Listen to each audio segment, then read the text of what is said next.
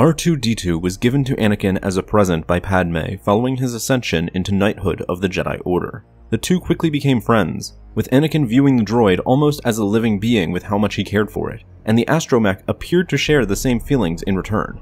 So how did Anakin's trusty astromech react after it saw its human master fall to the dark side and eventually force choke Padme on Mustafar?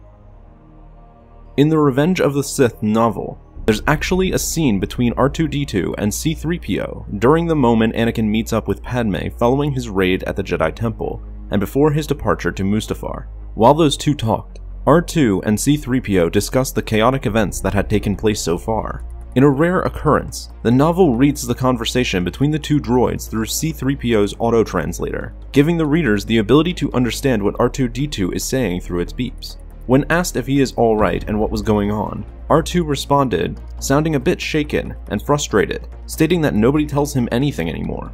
R2 continued by saying that something was wrong, and that the factors of what has happened didn't balance. C3PO responded by saying how no one was more confused than him with what was going on, in which R2 gave a classic snarky remark back by saying that he was right, nobody could ever be more confused than his gold-plated friend. After that back and forth, the two droids overheard a bit of Anakin and Padme's conversation, where the Jedi Rebellion against the Republic was being mentioned, and their assassination attempt against the Chancellor. C-3PO then asked R2 if he knew anything about this, in which the astromech responded, sounding a bit saddened now, stating that he knew nothing, because Anakin stopped talking to him. When C-3PO brought up how someone so honorable like Mace Windu could be an assassin, R2 once again responded how he couldn't understand it either, as the factors didn't add up.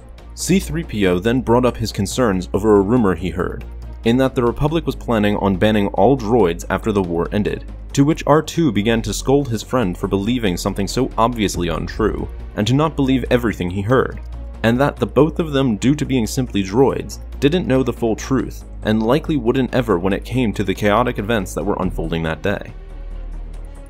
Once on Mustafar, and being told to remain back at the Starfighter, R2-D2 would soon witness the true horror of his master and see just how far he had fallen. As the hours went by, a familiar ship finally landed on the platform near Anakin's starfighter. It was Padme. The two humans quickly came together and soon began to argue, more so than R2 had ever seen before.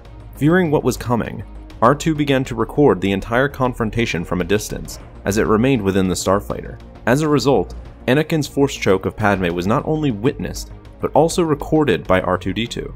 When Anakin and Obi-Wan began to fight, R2 later helped Padme back to her ship alongside C-3PO, and the astromech unit continued to record the entire situation as it unfolded, even recording Padme's eventual death when she finally gave birth. It's unknown if R2 began to record out of shock or as a means to protect Padme, but these recordings would remain locked away within the astromech for decades, with the droid refusing to show them even to Luke Skywalker once he learned of them. R2 explained that he didn't wish to show Luke the recordings as a way to protect him, but eventually the son of Anakin was able to convince R2 to reveal the recordings, showing him his birth, his mother's death, and Anakin's attack on her on Mustafar, igniting both painful and sad emotions from Luke, and likely painful and sad memories from R2-D2 as well. Thanks for watching this video. Help support the channel by becoming a member on our Patreon page, and be sure to subscribe for more videos like this one. And as always, may the Force be with you.